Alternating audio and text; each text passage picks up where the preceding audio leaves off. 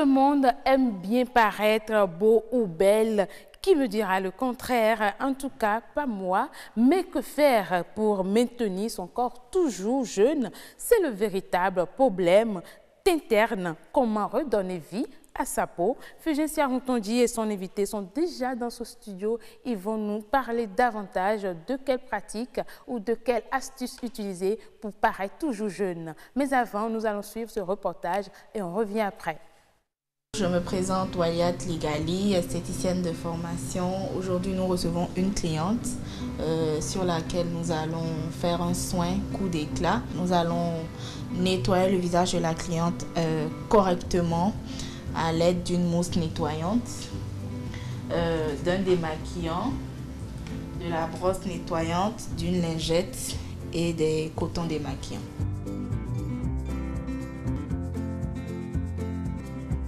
Nous allons passer à la deuxième étape qui va dégager le visage de toutes les impuretés, c'est-à-dire les dégager de, des comidons à travers euh, le tir comidon et l'extracteur de comidon. Avant, nous allons ouvrir les pores du visage de la cliente à travers l'application d'une serviette chaude sur son visage.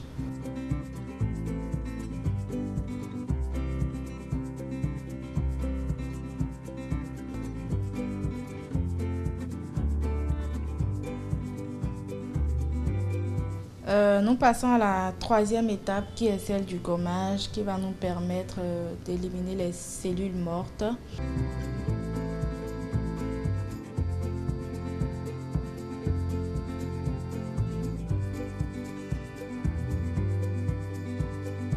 Euh, nous passons à la quatrième étape qui est l'application du premier masque à base de café et d'argile verte.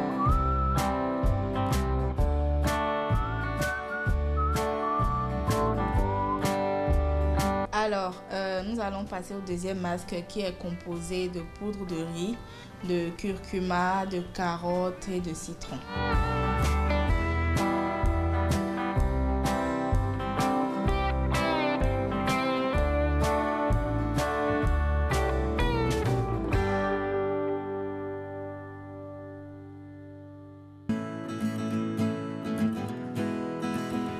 Alors, nous allons nettoyer le visage avec deux lotions. La première qui est du vinaigre de cidre dilué avec de la vitamine E. Et la deuxième lotion à base d'eau de rose qui est riche aussi en vitamine E. Et ensuite la crème hydratante à base d'aloe vera.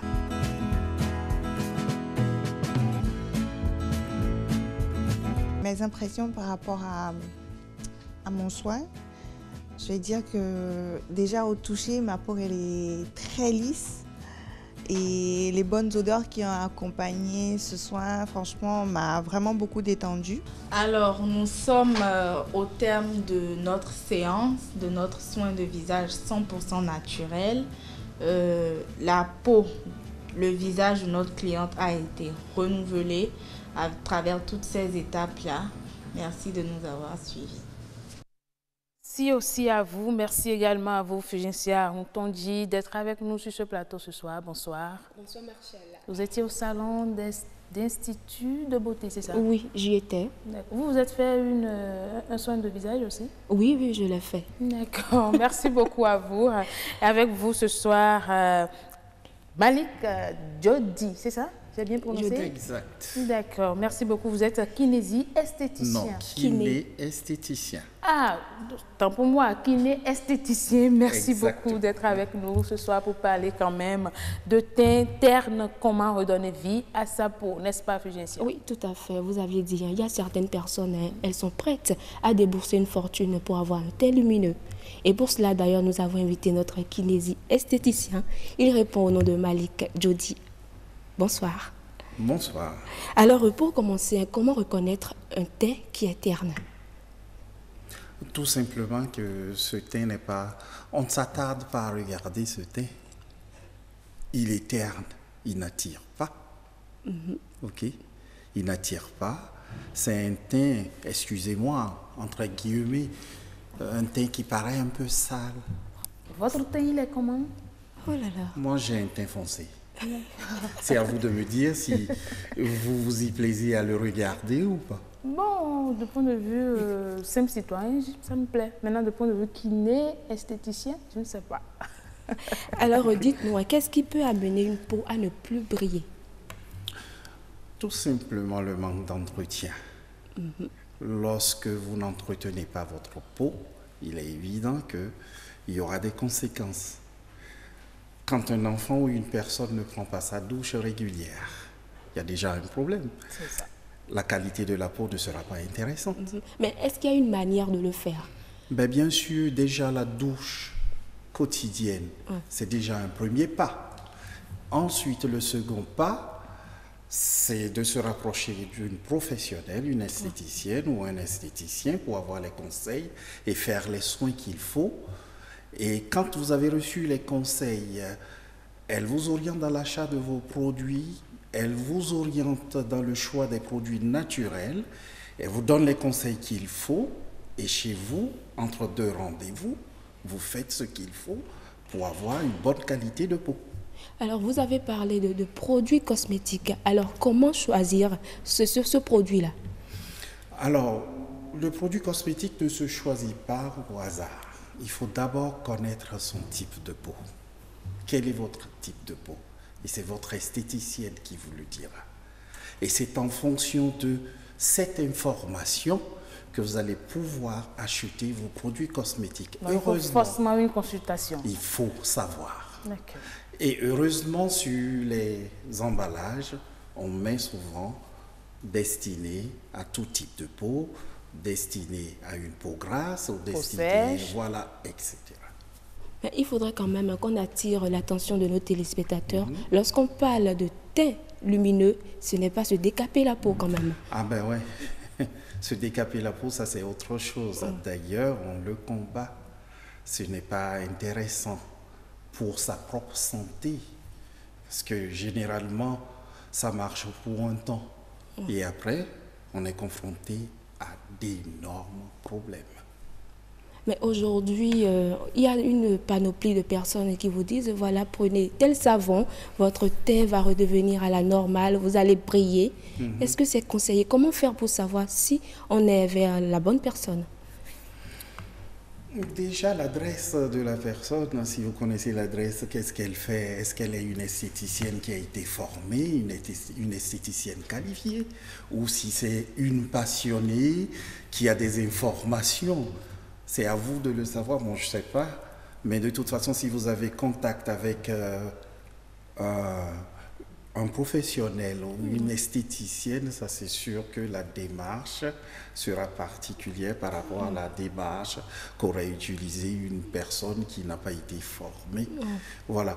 Alors donc quand on vous dit prenez tel produit, certainement celle qui n'a pas été formée l'a utilisé, elle a peut-être vu des résultats sur elle et elle pense que ça pourrait avoir les mêmes résultats sur votre peau.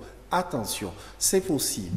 Tout comme ça pourrait ne pas être possible parce que vous, c'est pas elle, elle, c'est pas vous. Donc il faut agir aussi en fonction de la couleur de sa peau. De la, du teint, oui, la couleur de sa peau et du, du type de peau. Moi, de que- vos ce- besoins. Ce, ce qui décourage souvent, c'est quand vous vous rendez dans, dans les salons de beauté ou bien dans les instituts de beauté où vous demandez le prix d'un soin de visage et que vous vous rendez compte que, bon, c'est c'est votre loyer en quelque sorte.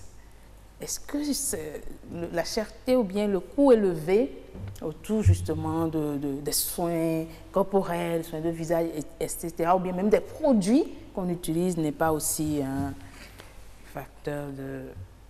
Vous comprenez ce que je veux Oui, dire? je comprends, mais ça ne dépend pas de celle qui a ouvert son institut.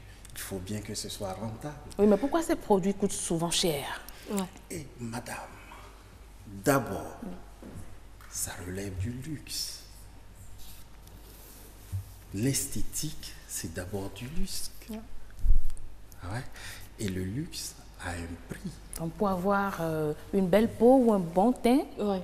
Mais moi, je me demande. Si vous, pas, pour- pas, pas ça, parce que de façon traditionnelle, on connaît des choses. On sait faire des choses à la maison. Au village, quand vous y allez, il n'y a pas d'institut de beauté. Pourtant, vous voyez de belles femmes, de belles jeunes Dites-nous ce qu'on peut Mais faire. voilà, il y, a des, il y a des choses traditionnelles. Elles sont peut-être au courant ou peut-être que de façon génétique, elles ont hérité d'une belle peau de- des parents. Et elles ne font rien par rapport à, à l'entretien. Alors, euh, Monsieur Malik de Jodi, alors dites-nous hein, comment faire si l'on a déjà une peau qui est sale, que vous avez qualifiée de sale, comment faire pour la rendre lumineuse? Voilà. J'ai dit tantôt qu'il faut prendre sa douche. Ouais. L'esthétique aussi, c'est d'abord de l'hygiène. OK Prendre sa douche quotidienne. Et prendre sa douche quotidienne, si on, comme on parlait du village, au village, qu'est-ce qu'on utilise? Je Ma grand-mère utilise souvent son savon cotola. Son savon coton, pas seulement le savon coton, Mais l'éponge, là, l'éponge végétale. c'est vrai. Ça n'a pas. On utilise aujourd'hui les gants de toilette, on utilise aujourd'hui Oui. euh, euh, les filets chez nous en Afrique. Bon, oui, ça vaut ce que ça vaut, mais ça ne vaut pas. Tant de choses à la douche. On Ça ne vaut pas le técan, ça ne vaut pas l'éponge végétale. La preuve même, aujourd'hui en esthétique, on utilise quelque chose qu'on appelle le loufah. Euh, ça vient d'une espèce végétale rampante au village. C'est une plante qui rampe sur les arbres ou le toit des cases. C'est une, une variété de courges cylindriques qu'on cueille quand c'est sec et pour se laver. Mais avec. nous savons hein, qu'il y a des produits aujourd'hui qu'on peut utiliser, qu'on utilise dans notre cuisine, qui peuvent quand même nous aider à Oui, rendre il y a notre des peau. produits, tout comme par exemple euh, dans le reportage que vous avez fait, on Oui. a parlé du curcuma, Oui, de café, du, café, du citron. parlé du citron. Voilà, ce sont des choses qu'on peut effectivement utiliser. Mais il faut savoir l'utiliser aussi. Il faut savoir l'utiliser. Si vous permettez, je parlais de, ce, de, de- des éponges. Avec l'éponge, quand on, se, on prend notre douche quotidienne, tout doucement, on fait ce qu'on appelle le gommage du corps. Le gommage du corps, quel est son but? C'est de séparer la peau des cellules mortes, ok? De rafraîchir la peau. Donc déjà, chez nous, traditionnellement, tout le monde le sait, on le fait. Mais on ne dit pas que c'est du gommage qu'on est en train de faire. Alors en institut, quand vous venez, si on prend un gommage à caractère mécanique, c'est en fait c'est du gommage dans lequel il y a des grains ou des broyats de noyaux de quelque chose qu'on utilise pour friction- frictionner la peau. Donc c'est pour débarrasser la peau des cellules mortes.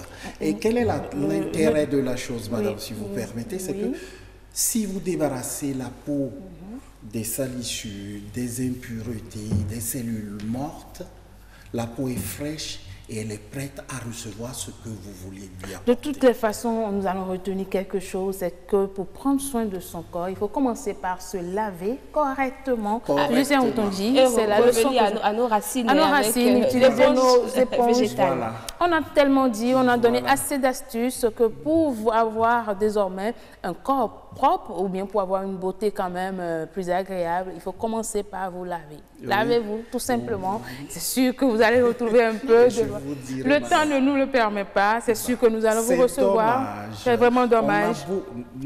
Il y a beaucoup à dire. C'est pas grave, vous allez revenir pour le dire. Le plateau sera toujours là pour vous recevoir. Pourquoi pas la semaine prochaine. je- Oui, je prends rendez-vous en même temps. Merci Il y a beaucoup. tellement de choses à dire, tellement de choses à apporter. Alors, euh, Monsieur Malik Djodji, Djodji, voilà, euh, kinésio-esthéticien, je vous souhaite tout simplement un bon week-end.